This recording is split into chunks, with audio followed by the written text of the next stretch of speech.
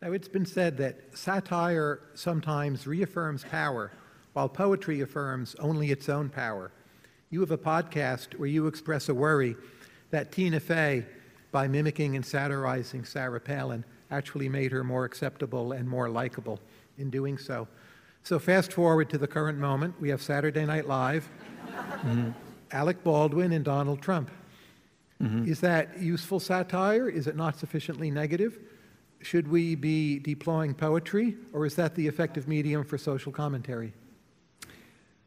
Well, I don't like the Alec Baldwin Donald Trump. Uh, I don't think actually it's. I mean, if you compare it to the um, to the Sean Spicer, uh, it's not as good, and it's not as good because the truly effective um, satirical impersonation is one that uh, uh, finds something essential about the character and magnifies it, something buried that you wouldn't ordinarily have seen or have glimpsed in that person and draw so with the spicer impersonation why that's so brilliant is that it, it draws out his anger he's angry at being put in this impossible position right that's that is the essence of that character. So, what is a how does a how does a person respond um, to this?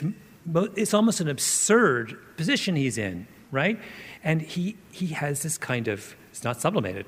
It, it it's there. This kind of rage, like I mean, every, in every one of his utterances, like I can't fucking believe that I am in this. And so that Saturday Night Live impersonation gets beautifully at that thing. It satirizes that. And so when, I've forgotten the name of the woman who does it. Yes, when Melissa McCarthy, when she picks up the podium and back, you know, that's an absurd illustration of that fundamental point. But the, the Alec Baldwin Trump doesn't get at something essential about Trump. It simply takes his mannerisms and exaggerates them slightly, but he hasn't mined Trump and there's so there are many directions you can go with Trump. I mean, the kind of uh, extraordinary insecurity of the man, which I, you know, that, like I said, there are many things you could pluck out. But that, for one, the idea of doing an impersonation where you really um, thought deeply about what it would mean in a comic way to, uh, um, to represent this man's um, almost kind of tragic level of insecurity.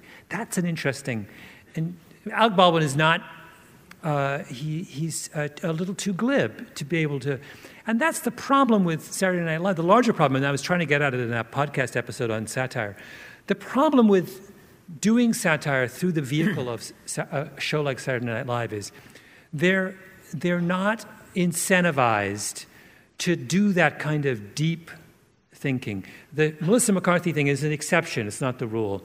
Really, what they're incentivized to do is to use for the actor who is, in many cases, as famous or more famous than the person they are impersonating. Yes. Um, it's the actor is using the character to further their own ends. Tina Fey is infinitely more popular, uh, more accomplished, more whatever than Sarah Palin will ever be. And so she's using Sarah Palin to further her own ends. That's backwards, right? She's not inhabiting um, the character of Sarah Palin in order to make us uh, make a point about Sarah Palin. She is inhabiting Sarah Palin in order to make a point about Tina Fey, right? And I feel like so long as satire is done by uh, a television show which has such a lofty position in the cultural hierarchy, it's always going to be the case that, that is going to, that's what's going to drive their impersonations. They're always going to be sitting on their hands, right? Remember, they're making fun of Trump six months after they had him on the show, right? after they were complicit in his rise, right? I mean, and after Jimmy Fallon ruffled his hair on camera. So, I mean, these are people who, I mean, you can, maybe that's fine. My point is, you can't be an effective satirist if you are so um, deeply complicit in the object of your satire.